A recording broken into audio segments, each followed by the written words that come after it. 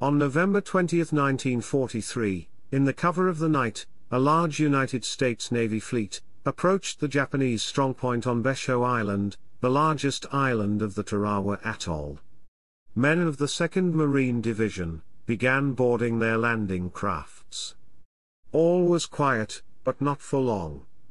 The Battle of Tarawa was about to begin. The Tarawa was the main objective of the operation, to establish the strong points in the Gilbert Islands archipelago, in the new island hopping strategy. Besides Tarawa, the island of Makin, and the small island of Apamama, situated also in the Gilbert archipelago, were chosen as the targets. However, the Gilbert Islands were not supposed to be the first point for the start of the U.S. Navy campaign in the Central Pacific.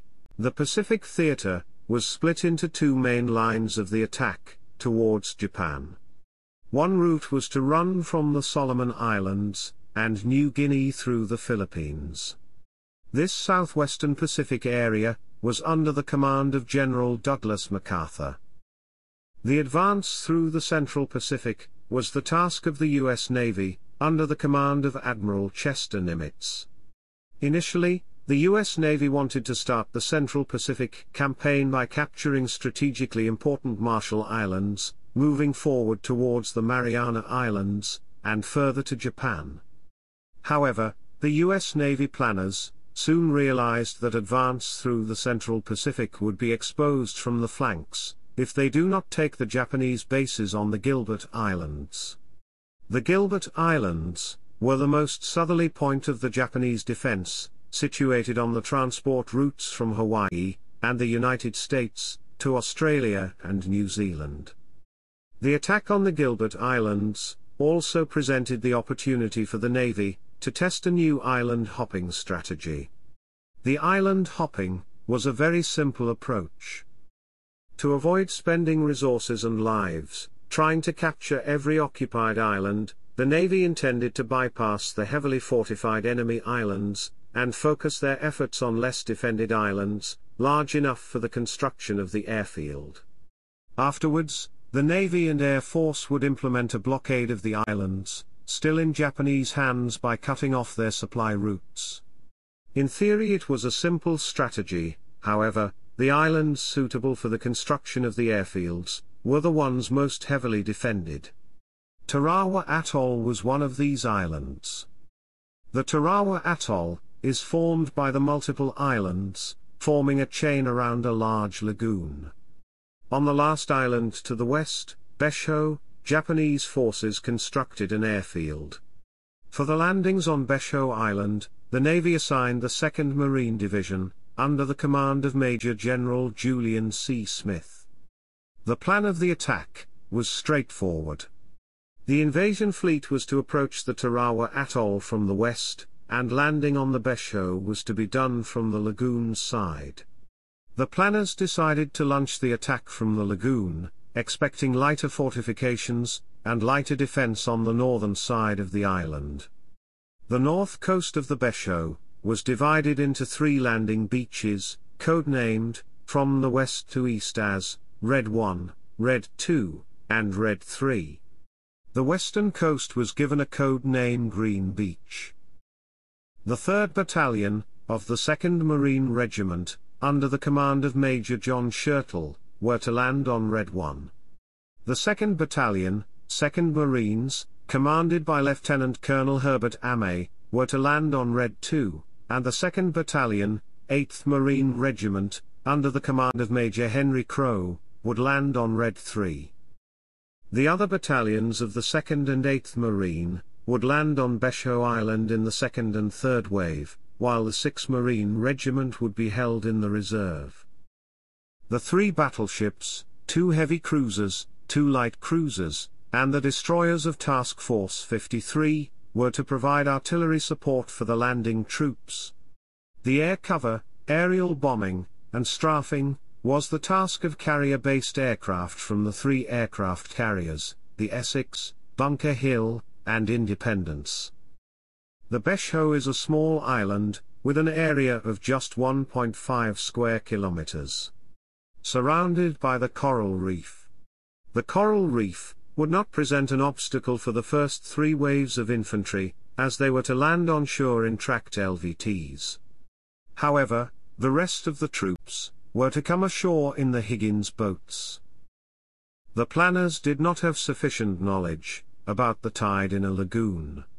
They expected the normal rising tide to provide a sufficient water level over the reef, enough for the Higgins boats to pass this natural obstacle. This planning oversight will play a significant role during the battle. The coral reef was the first line of the Japanese defense. The Japanese High Command was well aware of the importance of the Gilbert Islands. On such a small island, the Japanese placed a garrison with almost 5,000 men, under the command of Rear Admiral Keiji Shibazaki. Because of the small area of the island, a considerable amount of which was taken up by the airfield, and its facilities, Shibazaki concentrated his efforts on defeating the invader at the water's edge. Consequently, the beach defenses were formidable. Along the entire coastline, the Japanese troops built a series of trenches, strong points, gun emplacements, concrete bunkers, and shelters. Forty artillery pieces, and many more anti-aircraft heavy machine guns, were scattered around the island in various reinforced firing pits. The heaviest artillery pieces, the four 203mm naval guns, were placed in two pairs, on the far western and eastern end of the island. For the Japanese troops defending the island, surrender was not an option. At 5 am on November 20, 1943, a naval bombardment began. Gunfire from the battleships and cruisers lit the sky. Artillery barrage was so fierce, that one admiral said, We do not intend to neutralize the island, we do not intend to destroy it, we will obliterate it. However, artillery is well known, to produce more noise than damage. At 6 am, the aircrafts started their bombing run. The artillery barrage lasted until 9 am, when the amphibious assault began. As soon as the barrage stopped, surviving Japanese troops left their shelters and took their positions. The first waves of the Marines begin their approach to the beach, expecting that the Betio defenses had indeed been obliterated. As they get to the firing range of the defenders, suddenly they faced devastating Japanese fire. The tracked LVTs did not offer sufficient protection against anti-aircraft guns. Some LVTs were blown away by point-blank artillery fire. The resistance on Red 1 and Red 2 was especially fierce. Companies assigned for landing in the first wave, suffered heavy losses and were reduced to 50% of the strength, as they reached the shore. Faced with heavy fire, LVTs on the way to the Red 1 beach, were forced to veer off course, heading far to the west or the east, towards Red 2 beach. A group of the Marines, landed ashore, at the junction of the Red 1, and Green Beach. Major Michael Ryan, commander of L Company, 3rd Battalion 2nd Marine was among them. Immediately, he took command of this mixed force, of the Marines from various companies, LVT drivers, heavy weapons crew, engineers and signalers. On the Red 2 beach, Marines faced rows of enemy emplacements. The first waves of troops suffered heavy losses. The beach was crowded with casualties. Those who managed to survive were forced to seek the cover. Somehow, they formed themselves into small mixed units, and tried to move inland. A little progress was made. In the attempt to move his men from the Red 2, Lieutenant Colonel Herbert Amey, commander of 2nd Battalion, 2nd Marines, was killed. He was replaced by Lieutenant Colonel Walter Jordan, an observer from the 4th Division, who was the only senior officer present on the beach. Under covering fire, of the destroyers Ringgold and Dashiell, the 2nd Battalion, 8th Marine, landed on Red 3 Beach with minimal losses. Although they made limited progress inland, their main concern was to hold the arrival of Japanese reinforcements from the eastern part of the island. After about two hours of fighting, the Marines finally get the leader. At 10.30 am, Colonel David M. Shoup, a divisional operations officer, reached the shore.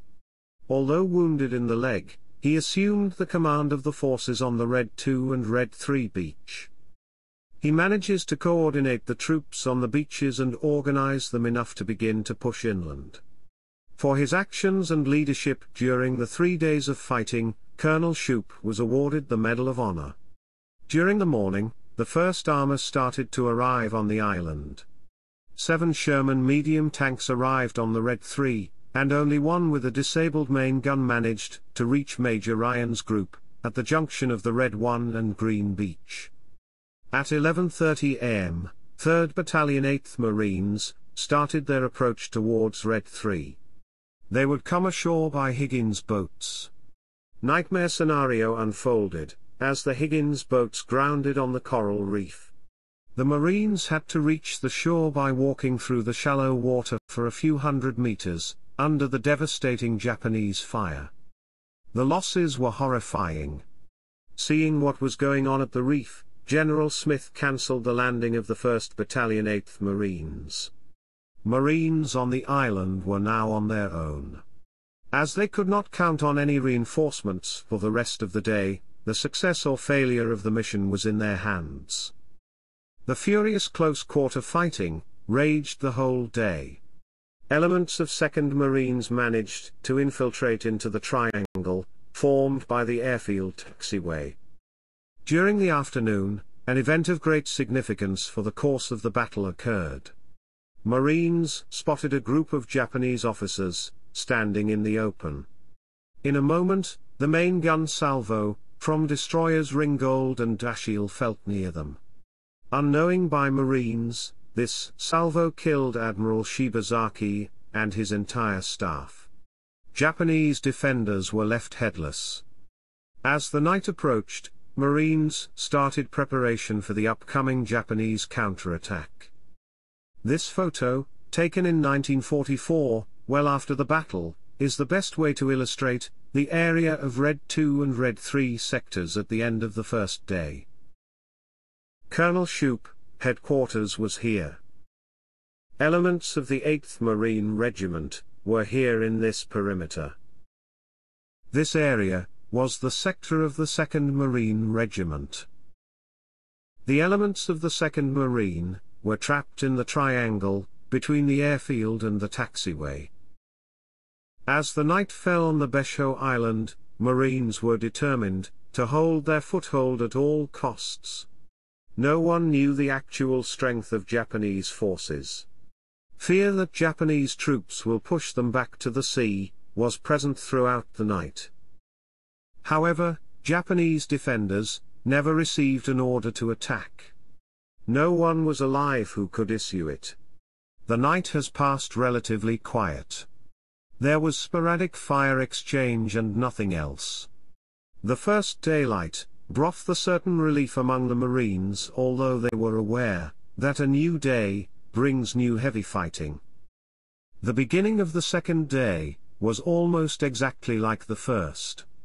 After spending most of the first day and the night embarked in their Higgins boats, without the use of toilet, food or drink, the 1st Battalion 8th Marines received the order to head for Red 2.